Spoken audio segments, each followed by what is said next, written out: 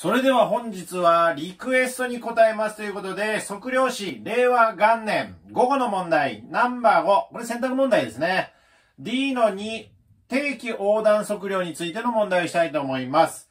えー、この問題は、このような図が出ていて、で、表が与えられていて、で、そしてこの、あからすまですね。ここまでの数値を入れていくという問題で、比較的簡単ですので、時間が足りないという時でも、必ずやっとくのが重要じゃないかなというふうに思います。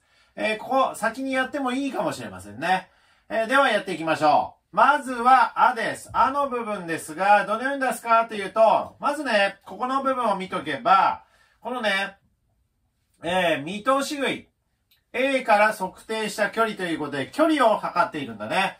で、こっからここまで。実はこっからここが見通しができなくて、こっから見通しているというようなことで、この部分が与えられています。で、ということはどういうことかというと、まずは、左岸距離表から見通し食いまでの測定値がこれでしたよと。で、そして、この水際食い B は、これ実は見通せてなかったものだから、A から見通したこれですね。9.542と35.812この数値が足されてここの値が出てるんだということです。ということは、点検測量値についても同じようにして、点検の場合でこれが出たと。で、そして、ここ、見通しの点検としてこれ出たので、こことここを足されたものが、ここの部分が出ていますよということになりますので、最初のあの部分は、このような計算になって45.343という風になってきます。この部分がそうなります。となると、いとうはどのように出すかというと、これと、これとこれの格差なんだね。要はこの数値とこの数値の差がいくらですかというのを見通せば、見ればいいので、これを、この差がいくらになるかというと、ここですね。E は差は0.009という風になります。じゃあ、うはどうなるかというと、うはこれとこれとの差なので、ね、あと、あはさっき出たね。な差なので、これが0.011という風になります。では、えまずじゃあこれ、あ、い、うときたので、えだね。えの方はどうなるかって、えの方はどのようになってるかというと、距離表、右岸の距離表からの距離っていうのが出されてんだね、これね。測定値と点検値が出されてます。だこっからの距離なんだね。ここの部分の距離になります。で、それがこのような数値で点検と測定値が出てるので、これの格差。ということは、これとこれとの差なので、こっちの方が数字が大きいので、まあ、これとこれとの差で、マイナスとかいうのはないからね。要はこの数値との差、お互いの差なので、これを計算すると0.038というふうになります。で、大きはどうなるかというと、ここね、許容範囲なんだね。許容範囲はどういう風になってるかというと、実はここに書いてあるんだね。標語の3が与えてあります。で、距離の場合、ここの部分は距離だね、全部ね。こっちの部分は全部距離になります。距離の場合の許容範囲は500分の L。L は何かというと、L は距離なんだね。L は距離を表しているので、O はどのように出すかっていう、O の部分の距離はこれだよね。測定値の距離だね。これを与えてやればいい。で、距離を使ってやればいいので、で、これをすると、どうなるかっていうと、こうなんだね。500分の35.812だね。で、それをすると、0.0716っていう風になってきますが、これは、小数第4位を切り捨てて第3位までしなさいということなので、切り捨てだから0.071なんだね。ここが0.071になります。許容範囲が0.071なんだね。じゃあ、さっき格差はいくらだったかっていうと、格差は0.009だったね。0.071より小さいね。だから格差の許容範囲にな、中に入ってるのは、これ OK ってなるわけだね。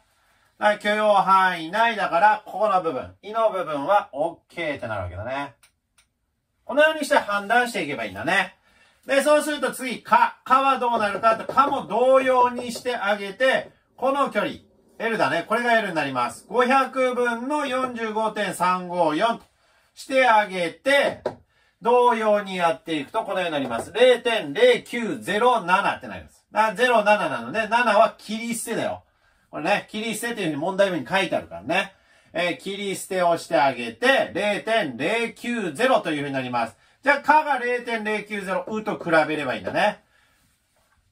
OK だね。これね。はい、ないと。じゃあ次だね。次も同じように、木、木の部分はどうなるかこれだね。27.336というふうになってますが、これがどうなるかというと、500分のなので、これだって。500分の27.336を使ってあげると0.0546ってなります。ね、四捨五入じゃないよね。切り捨てだというふうに問題に書いてあるので、で、切り捨てをしてあげる。これと、これを比べるんだね。キと A を比べればいいね。だから、OK だね。はい。このようにして判断していくだけです。ね、じゃあ空からどうなるかって、こっからね、こっちの方はどうなるかって、これ、これ全部標高だからね。標高を表しています。で、標高を表していて、同じように格差なので、測定値と点検値だね。測定値と点検値の差を求めてあげて、これとこれ比べれば、これだね。これとこれを比べると0.007。同じように、これとこれ比べたらこれだね。これとこれを比べたものはこれなんで、0.013。で、こうはどうなるかって、これとこれ比べるだけだね。高低差比べるだけです。だから、0.048ってなんだね。じゃあ、あとは、この格差の許容範囲になるかどうかのサーシースなんだね、これね。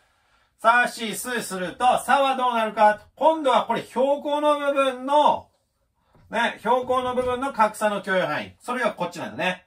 標高の3、標高。で、これが0.02足す0.05ルート L なんだね。100分の L。L はどこだったかって L は距離だったね、これね。だから標高の格差、ね、許容範囲。格差の許容範囲も、距離で求まっていくんだということで、さあはどうなるかと、0.02足す0.05。ね。で、0.02足す0.05で、3、その L はどに関して、L はこれだったね。これが L なんだね。35.812というのを入れて、ルートでくくってあげると、0.0499ってなっていくんだね。切り捨てだよね。切り捨てだから0.049と。で、それを比べる。これが0.049だから比べるのは9だよね。9と比べるので、9がこれだね。0.007。0.049。大丈夫だね。丸です。許容範囲ないと。はい、じゃあ C はどうなるかというと、C の方はここだね。ここの部分の距離。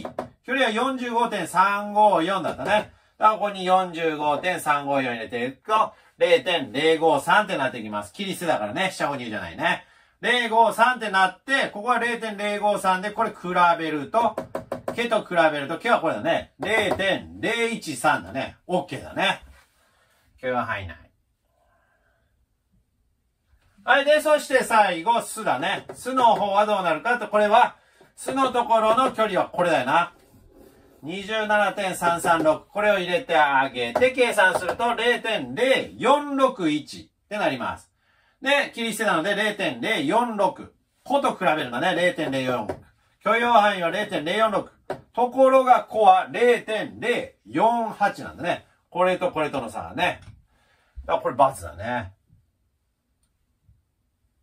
というようにして、えー、許容範囲を求めて、格差と比べて、最速が必要かどうかというのを調べていくのがこの問題になります。定期横断速になります。ということは結果的にここの部分、許容範囲オーバーだったんだね。ということは、ここの部分は何かっていうと、右岸側だね。こっち側だね。右岸側を最速しないといけないというふうになるね。これ理由を求めなさいというのは D3 の問題だよね。ここが許容範囲が超えているから右岸側が最速だと。何が超えているのかというと、水際食い C の部分の格差。ね。C の標高の格差が許容範囲を超えているんだね。これとこれ比べてね。許容範囲を比べているから、右岸側の最速が必要になりますよ。というような答えに達すればいいんだね。なので、これ比較的簡単な問題だと思うので、ぜひね、解けるような状況にしとけばいいのかなというふうに思います。以上で説明を終わります。